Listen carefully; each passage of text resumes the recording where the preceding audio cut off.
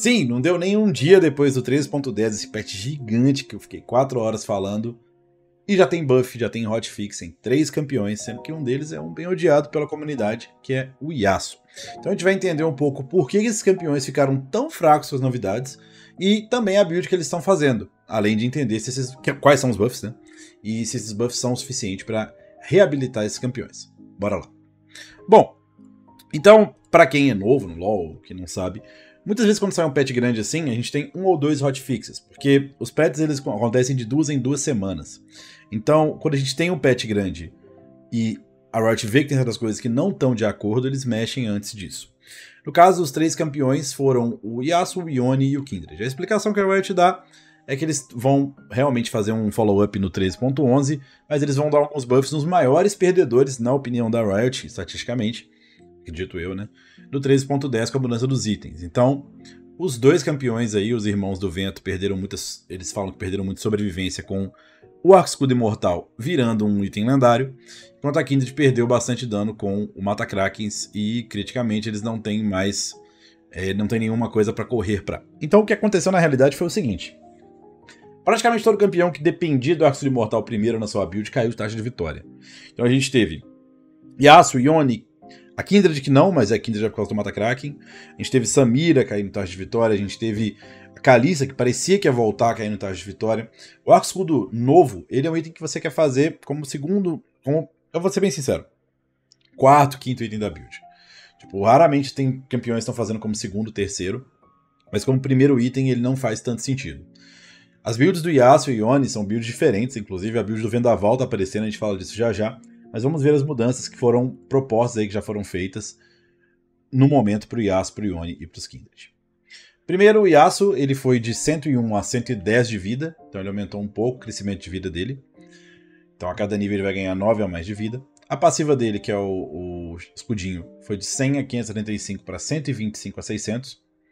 Bem legal, um aumento no escudo. E talvez o maior buff do Yasuo é a parede de vento, que vai de 30 a 18 segundos de cooldown para 25 a 15. Esse é o buff grande comparado com os outros. É uma parede com um cooldown menor é ótimo para o Yasuo. Mas vamos lá. Primeiro que o Yasuo está com uma taxa de vitória de 45%. Se a gente seguir aqui a linha, a gente vê que ele tomou bastante perda em taxa de vitória. Ele está agora com abaixo de 46, é bem baixo mesmo. Embora ainda seja bem escolhido, seja um dos campeões que seja aplicado em 10% das partidas. A build atual do Yasuo, depois das mudanças, ainda é uma build que runa é praticamente a mesma, que é letal tempo.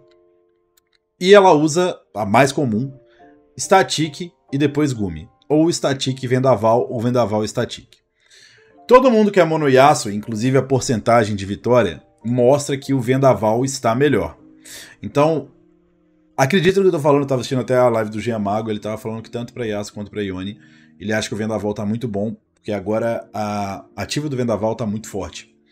Então, Static Vendaval, Vendaval Static, e como eu falei, o Arco Escuro como terceiro, quarto item é a build que parece que faz mais sentido pro Yasuo. Esse buff ele não vai aumentar tanto a taxa de vitória, eu acredito que agora vai ser um momento de baixa do Yasuo, e conforme o meta ele for descendo e os campeões e itens forem nerfados, talvez ele apareça melhor. E uma coisa que atrapalha um pouco o Yasuo é que como tem muita gente jogando com o campeão, ele é um campeão que tem um pick rate de 10%, quando ele fica um pouco pior, a galera realmente tem uma performance muito ruim com o campeão.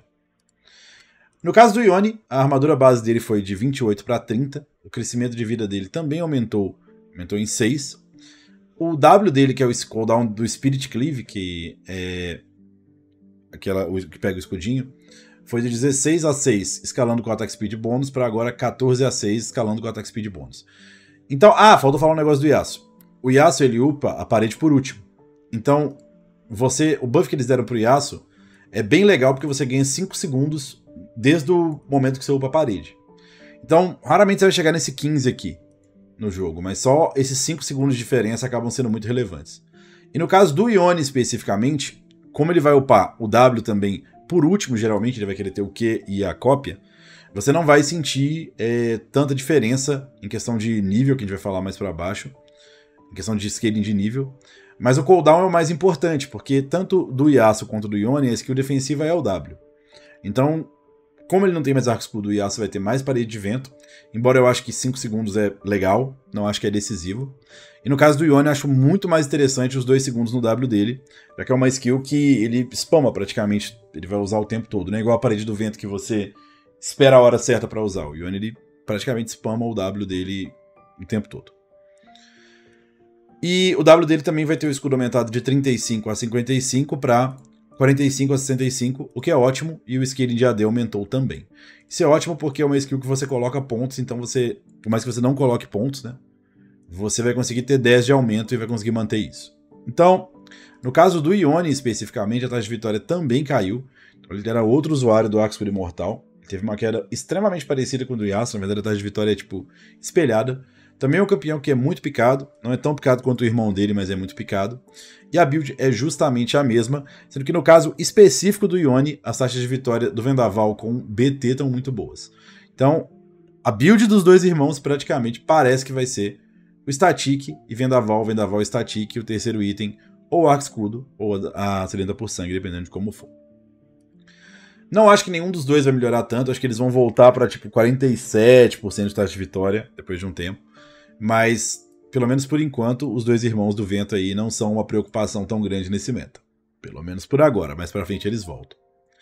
Eu tinha achado muito estranho o buff que deram nos Kindred. Eu até comentei na minha patch notes que eu achava muito difícil que as pessoas fossem fazer a build que eles querem que faça. Até a própria Riot falou que a ovelha não tende a comprar o item Rage Blade, né, que é a Ginsou, e o que acontece? É, a Riot ela tem que tomar muito cuidado com as coisas que ela faz, porque a partir do momento que você começa o patch mostrando que você buffou a P na Kindred, que tem uma Guinsoo nova, por mais que você escreva aqui que normalmente não é bom, e realmente não é bom fazer Guinsoo de, de Kindred, qualquer um sabe que não é bom fazer Guinsoo de Kindred, gente, independente do buff que ela tomou. Não é um item que sinergiza com o campeão, tá? De forma nenhuma. Ela não tem nenhum efeito on hit, Nesse, nesse, tem, tem a marca, né? Mas a marca do E, mas tipo assim. Não é o que justifica. Se ela buildar full um hit, normalmente o que ela vai querer fazer é ter, tipo, Mata Kraken e Critical. Então o Zero falou: qualquer um sabe. Será que a Red sabe? Sabe. Então, tipo.